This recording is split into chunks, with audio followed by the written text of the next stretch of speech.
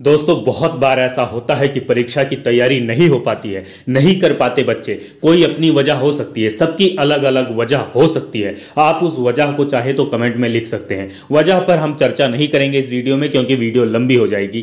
किसी भी वजह से अगर आपकी परीक्षा की तैयारी नहीं हो पाई है, चाहे आपने पढ़ाई नहीं की हो, या आप कहीं घूमने चले गए हों, या तबीयत बिगड़ गई हो, या कल पर टालने की आदत की वजह से कि कल पढ़ेंगे कल पढ़ेंगे करते करते एग्ज़ाम आ गया हो, कोई भी वजह हो तैयारी नहीं हो पाई है तो डर तो बच्चों को लगता ही है कि परीक्षा आखिर कैसे पास की जाएगी। तो आपको डरने की ज़रूरत नहीं है, आपको ये वीडियो कंप्लीट देखनी है। इस वीडियो में हम आपको एक तरीका बताएँगे, जिस तरीके को अपनाकर आप परीक्षा में बहुत अच्छे नंबर हासिल कर सकते हैं।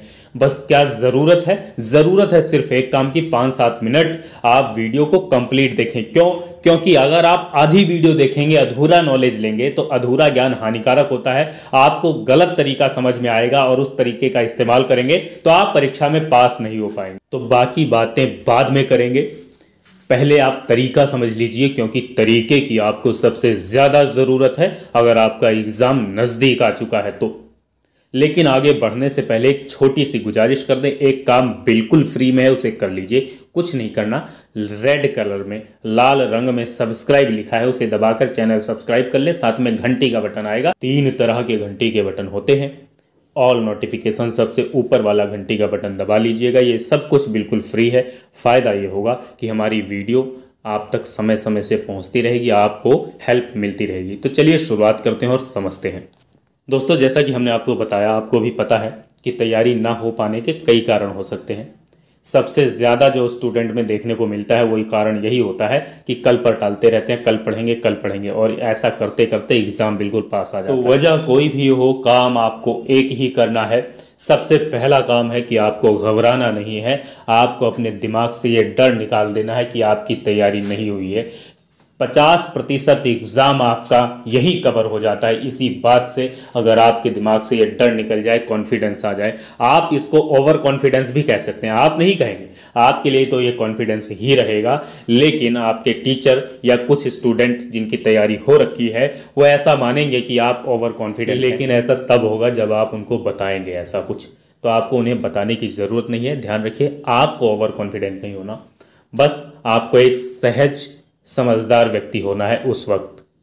ऐसा होना चाहिए, अभ्यास से हो जाता है, वो भी हम आपको बता देंगे कैसे आप बन सकते हैं। लेकिन सबसे पहला काम आपका यही है कि आपको अपने दिमाग से डर निकाल देना है, ऐसा समझना है कि आप पढ़े लिखे हैं, आपको चीज़ें आती हैं। ऐसा क्यों समझना है? ऐसा इसलिए समझना है क्योंकि आप वाक्य में पढ़े लिखे हैं। आप जिस भी क्लास में अगर आप नाइन्थ में हैं तो पिछले आठ सालों से आप पढ़ाई कर रहे हैं। अगर आप टेंथ में हैं तो पिछले नौ सालों से आप पढ़ाई कर रहे हैं।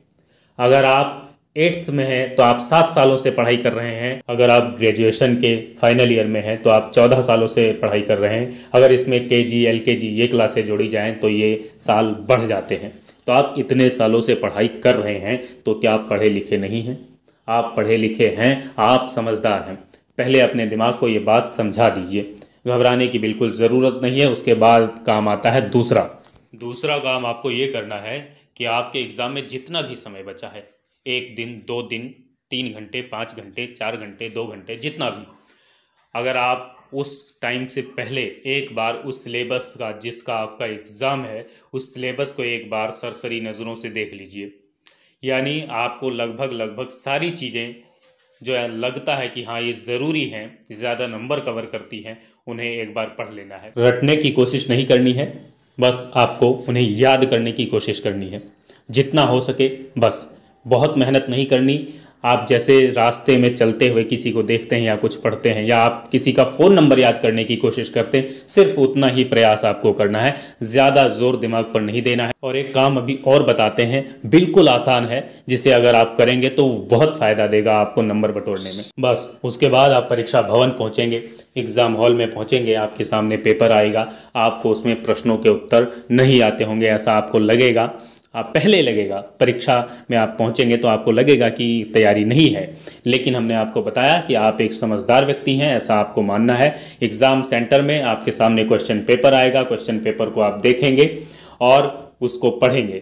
पढ़ते हुए आपको ऐसा फील होगा कि आपने ये सारी चीज़ें पढ़ी हैं। सुबह पढ़ी हैं, लेकिन रिकॉल नहीं कर पाएँगे, वो चीज़ें आपको याद नहीं आएँगी। आखिर क्या लिखें? शुरुआत कैसे करें?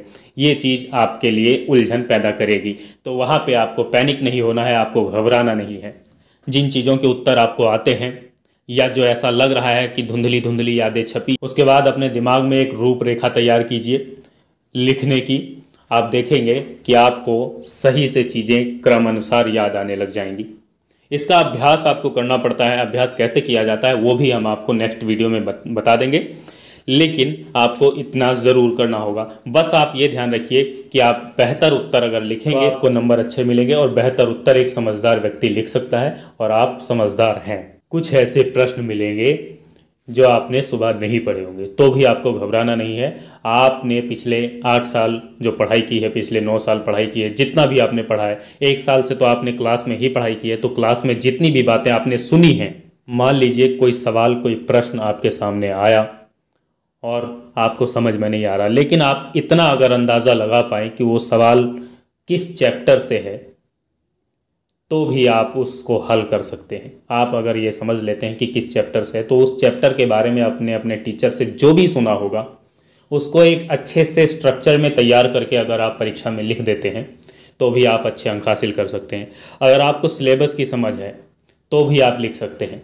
बस आपने क्लास में जितना भी सुना होगा, उन चीज़ों को टीचर के मुँह से जो भी सुना होगा, वो शांत मन से आपको समझदार बनकर चीज़ें याद करनी है और लिख देना है। आप यकीन मानिए, अगर आपकी तैयारी नहीं हो पाई है तो आप इस तरीके का इस्तेमाल कर सकते हैं। पहली बात तो आपको तैयारी करनी चाहिए, हर रोज़ काम करना चाहिए। जिस समझदारी की हमने बात की है, वो समझदारी भी एक दिन में विकसित नहीं होती है। इसके लिए आपको हर रोज़ पढ़ना पड़ता है, मन शांत रखना पड़ता है। सही उत्तर कैसे लिखा जाता है, सही उत्तर की रूपरेखा क्या होती है, इसके लिए अभ्यास करना पड़ता है। लेकिन अगर आप अभ्यास कर नहीं पाए हैं तो भी आपके पास जितना समय है, उसको बिना घबराए सही से इस्तेमाल करें। दूसरा काम आपको ये करना है, जो सबसे ज़रूरी है कि आप जब सुबह पढ़ेंगे या जो भी पढ़ेंगे, जब भी पढ़ेंगे, एग्ज़ाम टाइम में आपको बोलना नहीं है, बोलना कम है। जितना हो सके आप कम बोलिए। अगर आप बोलेंगे तो चीज़ें आपके दिमाग में रहेंगी नहीं, स्किप हो जाएँगी, घुल मिल जाएँगी, सब कुछ आप भूल चुके होंगे, ब्लैंक होगा आपका दिमाग। तो आपको बोलना कम है जितना हो सके। उम्मीद करते हैं आप हमारे द्वारा बताई गई बात को समझ गए होंगे। अगर आपको वीडियो अच्छी लगी है तो लाइक कर दीजिए शेयर कर दीजिए। कोई सवाल है, अगर आपको कुछ पूछना है तो वीडियो के नीचे कमेंट करें। हम आपके कमेंट का इंतज़ार कर रहे हैं। सीखते रहें, सिखाते रहें, जुड़े रहें। आर शिक्षा के साथ धन्यवाद।